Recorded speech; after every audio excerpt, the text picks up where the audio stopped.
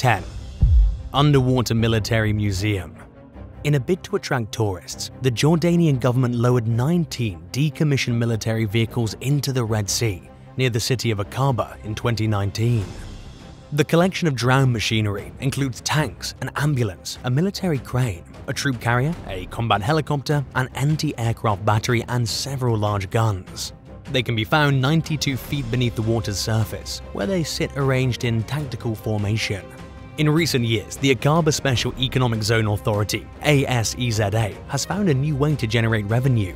In 2020, their first ever underwater military museum was created as a unique diving experience for tourists. The idea was bolstered by the Jordanian royal family, inspired by their generational passion for diving. Not all the vehicles are military equipment, and some of them have been there since long before the museum was put together. In 1985, the late King Abdullah ordered the sinking of the Spanish cargo ship Cedar Pride. Three years earlier, an accident blasted a hole in the vessel, leaving it as a half-submerged eyesore until the king decided there was a better place for it. In 1999, an anti-aircraft tank became Aqaba's second intentionally placed wreck. 9. Thailand Tank Dump In 2010, a photo of a tank being dumped off the side of a ship emerged online. Initially, this caused some people to wonder if someone had gotten away with polluting the environment. It's a fair cause for concern, especially in an age where marine pollution is wreaking havoc on ocean life. Luckily, this wasn't the case. As it turned out, the whole thing was orchestrated in order to hopefully improve the ecosystem's fish stocks. The photo was taken when a total of 25 old military tanks and trucks were dumped into the water near the Gulf of Thailand. The goal of this action is to create an artificial reef with the hopes that corals will eventually form on them. This would, in turn, help to restore the region's ailing fish populations off the Narathiwat province coast. 8. D-Day In the early morning hours of June 6, 1944, Allied troops stormed the coast of Normandy, France, on a mission to free the country from Nazi control. This day would famously come to be known as D-Day. It was one of the largest amphibious invasions, and it was the largest seaborne invasion in history. The campaign was successful, marking the beginning of the end of the war. However, victory came at a cost for the Allies and not everything went according to plan. In fact, some things went wrong right from the beginning. A fleet of 29 amphibious tanks, known as duplex drive tanks or DD Shermans, were outfitted with flotation devices designed to enable soldiers to steer them to shore. Unfortunately, these modified vehicles were only equipped to withstand one-foot swells, and the seas were much rougher than that. The tanks were no match against the six-foot waves they encountered. Most of the drivers were still about 0.6 miles away from the beach after trying their best to reach dry land. Only two of the tanks actually made it to shore. Archaeologists explored the area's waters for the first time in the year 2000. They found some of these doomed machines sitting upright while others were on their side along the ocean floor. These tanks represent just a small portion of the losses the Allies experienced during D-Day. 7.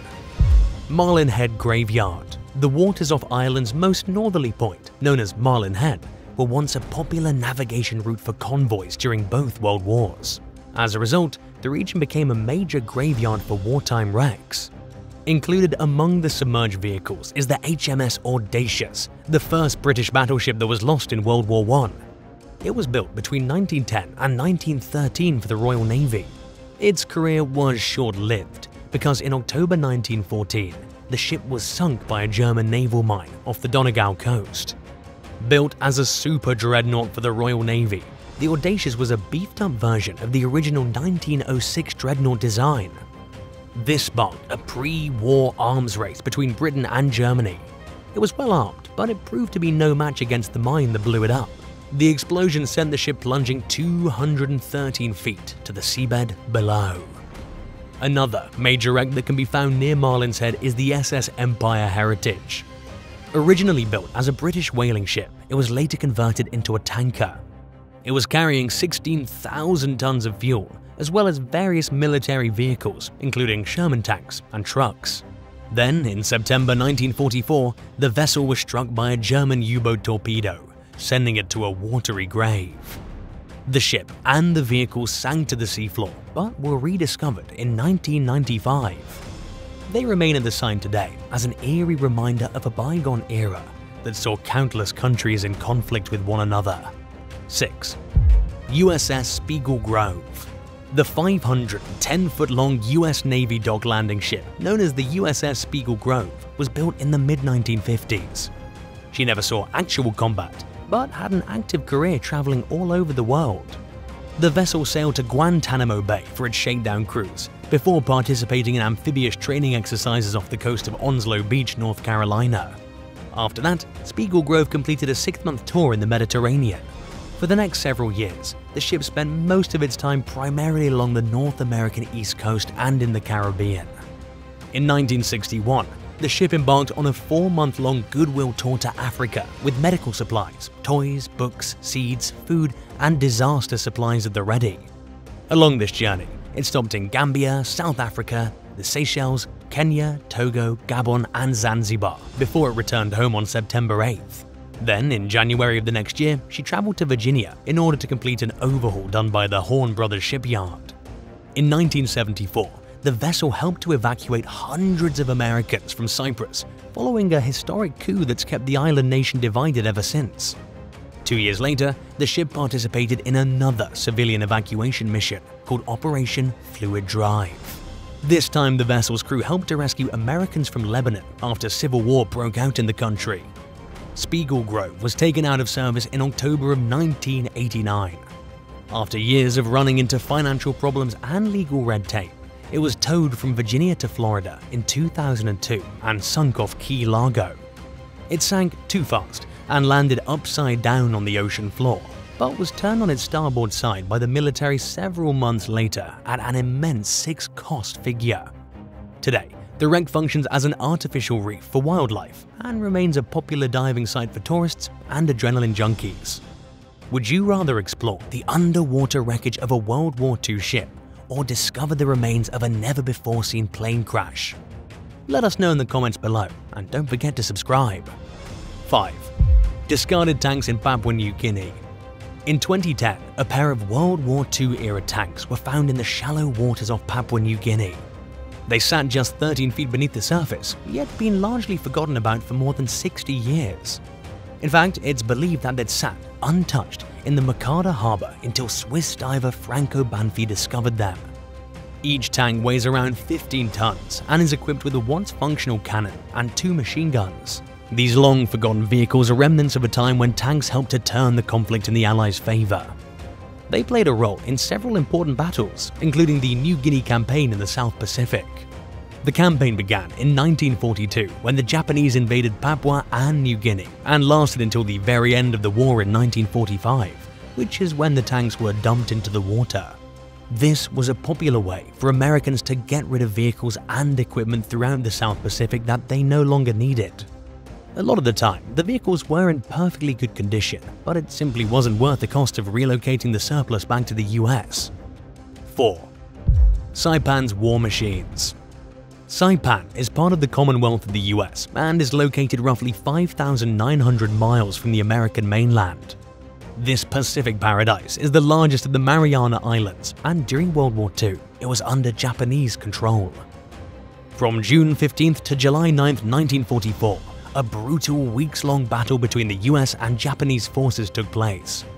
In the end, America was victorious and captured Saipan to claim as their own.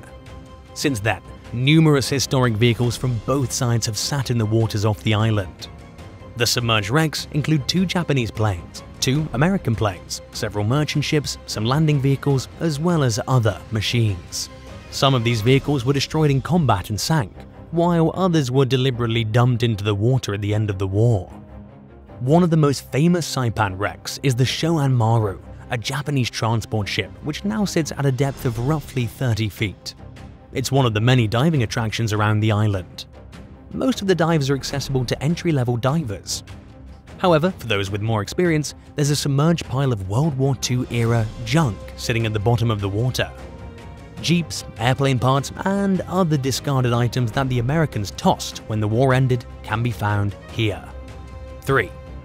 World's largest submerged plane In 2016, an Airbus A300 cargo plane was deliberately sunk off the coast of Kusadasi, a city in western Turkey.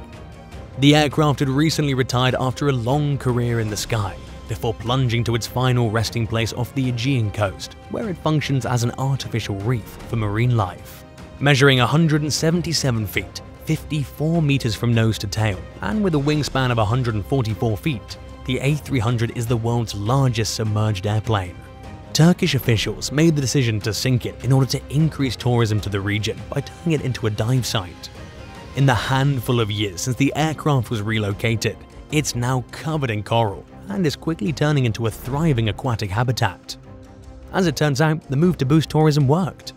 Diving has increased noticeably in the region, and it's all due to the rare and unique opportunity to see fish and other creatures living in and around a cargo plane. 2. Chuuk Lagoon During World War II, Japan's main naval base was located roughly 970 nautical miles northwest of New Guinea in the South Pacific. Known today as Chuuk Lagoon, this area contains an eerie graveyard of war machines, including a ghost fleet of Imperial Japanese ships, tanks, and planes. The vehicle sank in February 1944 during a massive air and sea attack that the US Navy launched against the Japanese, known as Operation Hailstone. Altogether, over 200 planes and at least 40 marine vessels were destroyed. Since then, the vehicle cemetery at Chuuk Lagoon, formerly known as Truk Lagoon, is now a popular diving site. Experienced divers are capable of entering depths where they're likely to discover things they've never seen before. The graveyard contains a plethora of military and everyday items, such as medicine bottles, plates, shoes, battery guns, ammunition, and gun masks. 1. SS Probitas Towards the tail end of World War I, the SS Probitas, an Italian diesel-powered cargo ship, was built in 1918. Interestingly, after many years in service, the ship even went on to assist in World War II. However, all things must eventually come to an end. It was ultimately sank by the Germans during an air raid off the Albanian coast on September 25, 1943. The 377-foot vessel sank to its final resting place below the Bay of Saranda. The ship remains on its port side and is still visible at the site today. The SS Probitas sits less than 1,000 feet, 300 meters from the shoreline, and lies at a maximum depth of 59 feet below the water. At its shallowest point, the ship is just 10 feet from the surface, making certain parts of the wreck easy to spot with an aerial view. In order to signal danger underneath the waves, the Probitas is marked above the water with a cardinal buoy. It's a popular diving site for thrill seekers, and the visibility around the wreckage is decent at about just under 66 feet. Thanks for watching. Do you think we should continue dropping vessels into the ocean in order to restore underwater ecosystems? Let us know in the comments below. If you enjoyed today's video, be sure to give it a thumbs up, and while you're at it, don't forget to subscribe. I'll see you next time. Bye.